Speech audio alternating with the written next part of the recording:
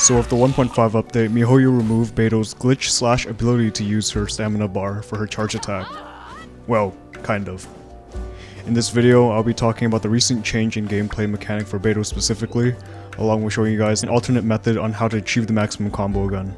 If you recall from this video, I showed you guys my way of achieving the full stamina bar usage through her auto attacks.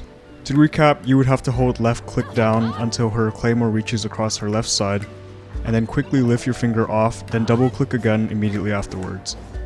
I've read in the comments that a ton of you guys have been doing this by accident in the past, however, now it seems that MiHoYo has removed this to prevent players from proccing on accident. However, after making that video and reading your guys' comments, it seems that there is an alternate method of achieving it. So to use up your stamina bar when using your charged autos, start by holding down your left click as you normally would.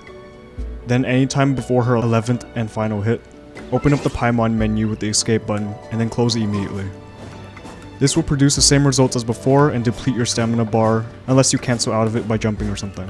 This method still works after the 1.5 update luckily. Next, let's go into some pros and cons of this method versus the old one. Starting with the pros, the Paimon menu method is, well, still usable, and it also works on every Claymore user. The old method only worked with Beidou, but now it doesn't matter if you have a similar style attack like Batman, or Yuki Nonaka, or if you have spin to wins, like these guys,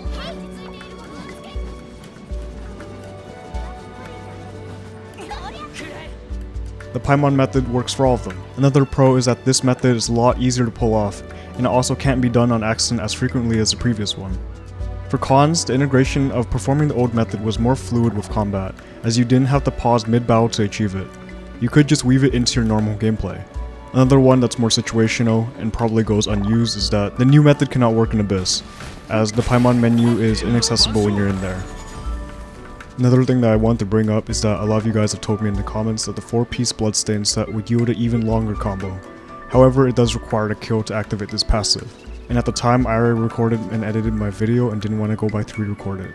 But we'll be doing that for this video. I'll be running an under-leveled artifact set to make sure that we can achieve as many hits as possible without our enemy dying prematurely. And that goes for the weapon as well. For teams, we'll be using the same one as last time, double Anemo if you're picking for the stamina bonus, and Barbara for her stamina reduction passive. To demonstrate, I'll be deleting a smaller Dendro slime with Beidou's E first, and then performing the max combo on a larger one. Enjoy. Uh,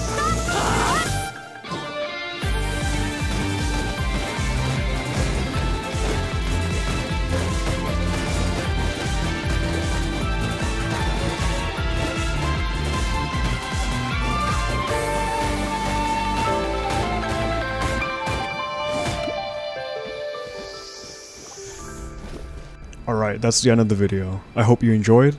And did you notice that MiHoYo patched out the old method? Let me know in the comments if you guys achieved an even higher hit count than the one shown here. And, before I play the PTSD music in my outro, I want to give a quick channel update. So if Eula coming in two weeks, I've been grinding the hell out of the literal ice cube for her ascension materials. However, as it stands, it will literally be impossible to max her talents upon release, since they need Conquer Dragon's material and there are just not enough weeks to get her talents maxed out. So that's why I won't be leveling her talents all the way. I do have all of the resistance books and common materials ready though. Aside from that, there will be a simp video for both her and her claymore when their banners drop, but I won't be doing C6. That's safe for Raiden if she's gonna look the way I think she will. But yeah, don't forget to like, comment, subscribe. That's about it.